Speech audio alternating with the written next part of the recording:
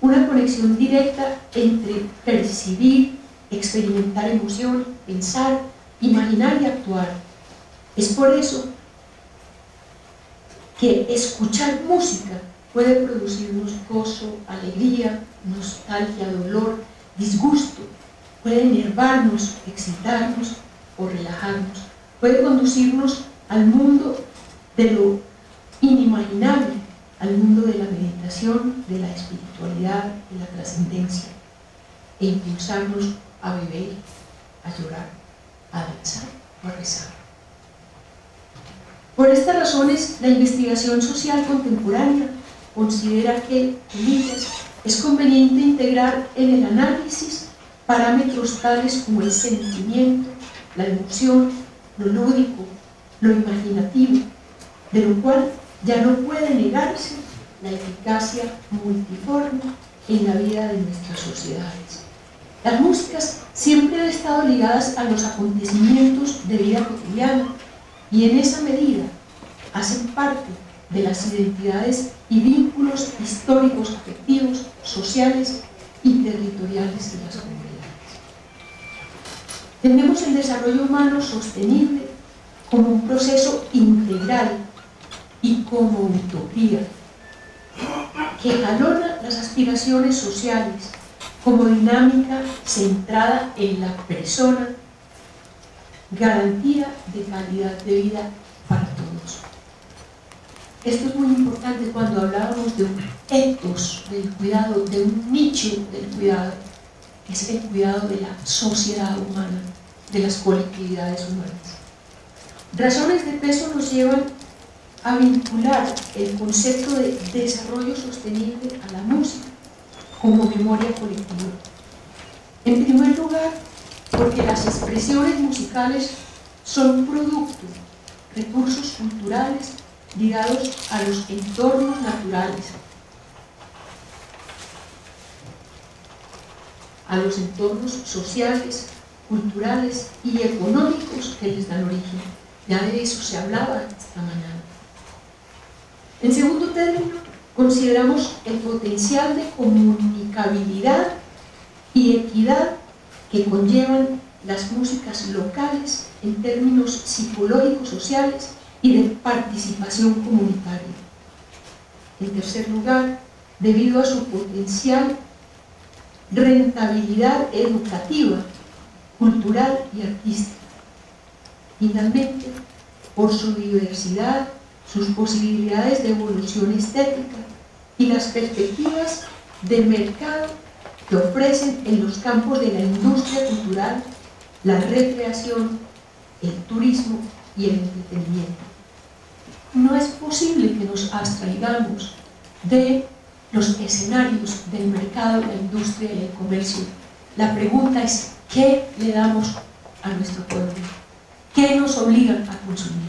Comunicación donde la música sirva de vínculo verdaderamente humano. Como advierte el investigador Bruno Olivier, se trata de apropiar una conciencia histórica y asumir responsabilidades en la perspectiva de desarrollo humano sostenible, aprovechando ese recurso que se llama música. Ninguna práctica permite por sí misma la preservación de un patrimonio. Un ritual, una ceremonia, una manera de cocinar, una música que no se vincula con una historia colectiva, corre el riesgo de transformarse en la conciencia de los miembros del grupo en un puro acto de consumo o producto de venta destinado a otros intereses. Pero la memoria colectiva depende de las vivencias compartidas, espacios culturales y del conocimiento, del contacto previo que se tenga con determinado tipo de música si se han ido perdiendo los espacios más íntimos de prácticas musicales locales, como son la familia, las tertulias y reuniones musicales de amigos y vecinos, si la guerra y múltiples formas de violencia han diezmado y disgregado las comunidades, la pregunta a responder sería, cómo y por qué vías vamos a reconstruir nuestra propia historia humana y musical, es decir, nuestra memoria musical cultural. ¿Cómo podrán hacerlo las nuevas generaciones?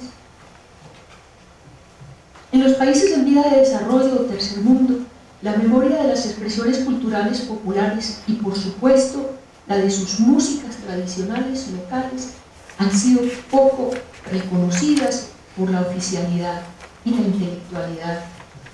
Con honrosas excepciones, las consideró inferiores o de segunda categoría. Baste observar la historia de los pénsumes académicos de conservatorios y departamentos de música de las universidades colombianas. También de esto se hablaba esta mañana. La industria del consumo, el mercado del espectáculo, solo las tiene en cuenta cuando son objetos potencial, potenciales de consideradas ganancias. A los grandes consorcios que manejan la economía y el mercado mundiales no les interesa que se conserve ningún tipo de memoria, ningún tipo de memorias locales, ni identidades solidarias, ni sentidos de pertenencia. Pero no podemos ser eh, ingenuos ni facilistas frente a la tarea de construcción de la memoria colectiva. En el tercer mundo, de un lado, está el impacto producido por los grandes cambios fruto de la modernidad, de otro, y en particular en países como Colombia, en que la memoria ha sido violentamente fragmentada y su construcción ha estado determinada en gran medida por políticas de memoria impedida y de memoria manipulada.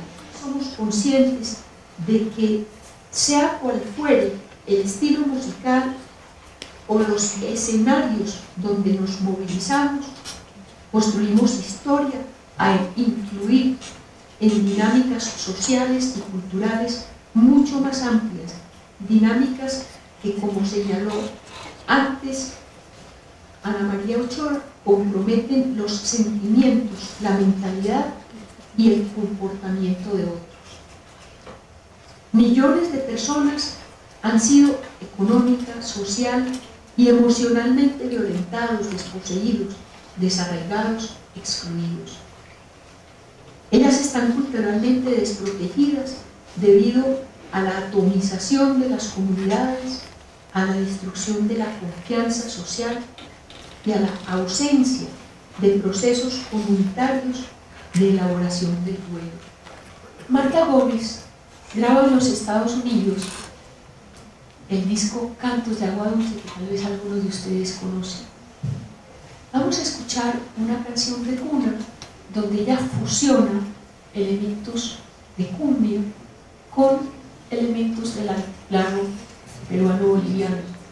Pero lo interesante de esta canción es que Marta trae con profunda emoción todo el drama de las madres solteras colombianas, de las madres solas, es decir, Marta no es ajena a toda esa realidad.